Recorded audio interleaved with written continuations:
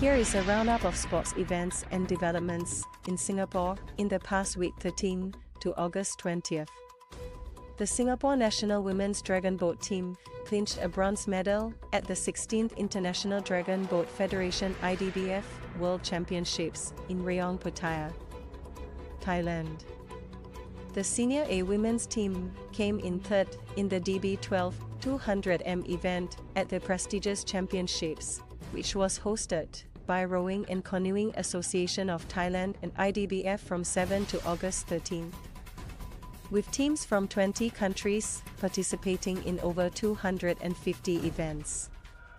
The Singapore Dragon Boat Association's national senior team was established in 2021 and is dedicated to training and excelling on the international platform. To donate or sponsor the association, please contact Razel at spor.org.sg or visit their giving.sg page. StarHub will be streaming all 48 matches at the 2023 Rugby World Cup from September 8 to October 28. New and existing Sports Plus customers need not pay more to enjoy the competition. With a Sports Plus Pass $25.22 per month, with a two-year contract, they will be able to catch the matches at home or on the go. Via the StarHub TV Plus box or TV Plus app. All matches will be broadcasted on beIN Sports Rugby on StarHub Chapter 212, with pre-event programs available from September 1st.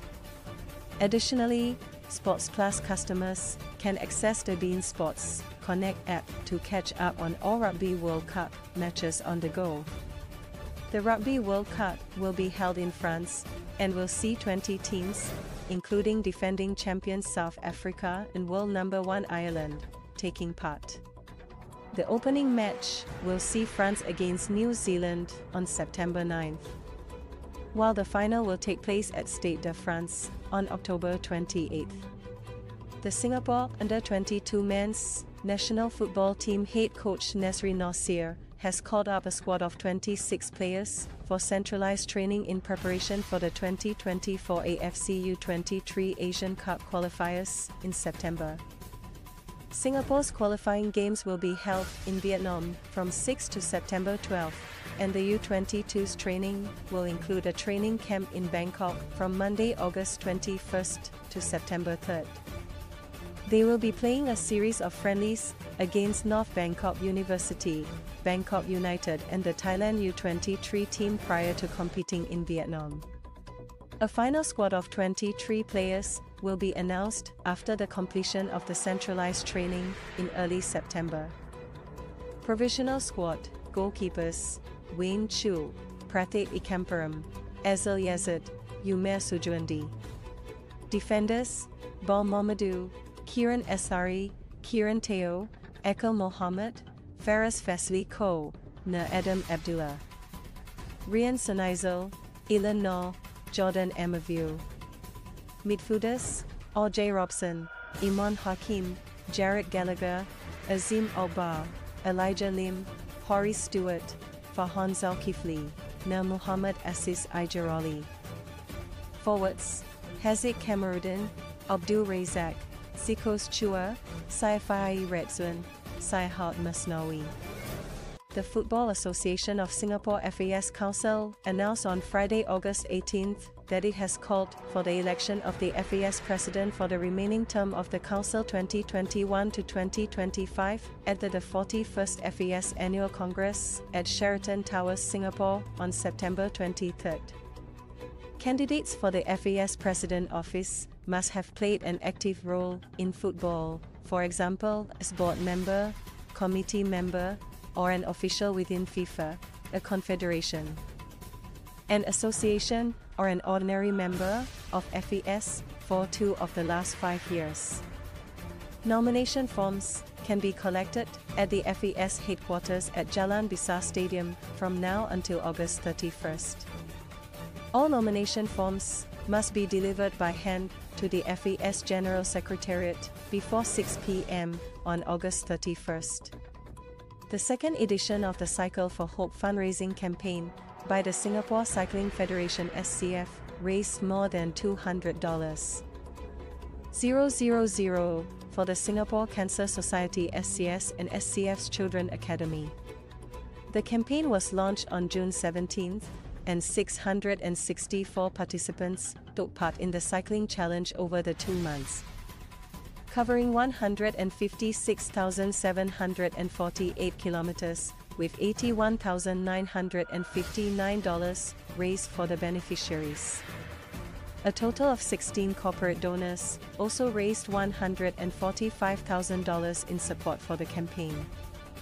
The cycling challenge concluded on Sunday, August 20th, with a leisure ride at the OCBC Arena Park.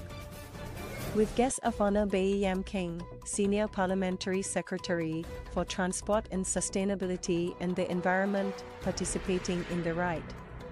About 70% of the funds raised will be channeled to the SCS while 30% would go towards developing SCF's Children Academy and high performance developmental programs, including the development of a new BMX track. Former national swimmer Mark Tay, who was the first recipient of the Singapore Sports Boy of the Year award in 1978, died on Tuesday, August 15, at age 63. The Straits Times reported that the cause of death has not been confirmed.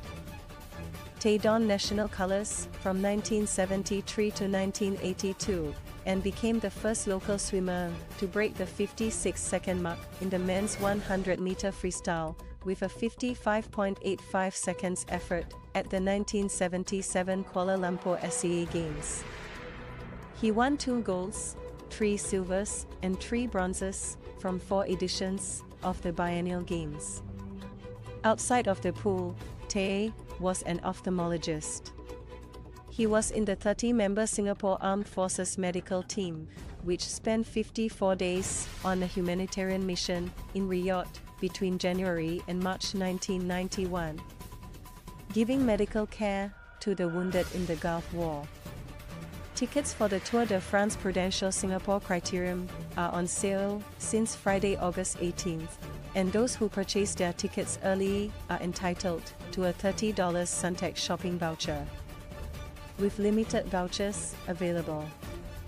The, the 28th and the 29th of October event will be held around a new Suntec City Street circuit, and tickets for the event together with the after party featuring top DJ KSHMR are priced at $68. The race weekend will kick off with a host of fringe activities at Suntec City, as well as the Singapore Criterium team presentation. There will also be a kids ride that parents can sign their children up for. At $50 for either a slot in the 6 to 9 year old or 10 to 12 year old category. The 3 kilometer street circuit will see 32 cyclists from 8 of the world's top professional teams set off from Temasek Boulevard for a 90 minute race.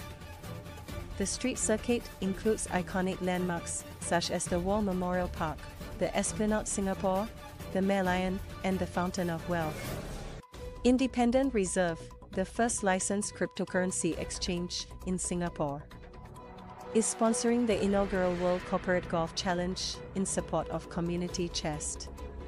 The event will be held on September 6 at Sentosa Golf Club and is set to feature up to 25 corporate teams from 15 companies. The winning team will represent Singapore and compete against 33 countries at the World Corporate Golf Challenge final at Tenerife, Spain, from 2 to October 6. At least 50% of the cash registration fees will go to Community Chest and proceeds will go towards more than 100 social service agencies supported by the organization.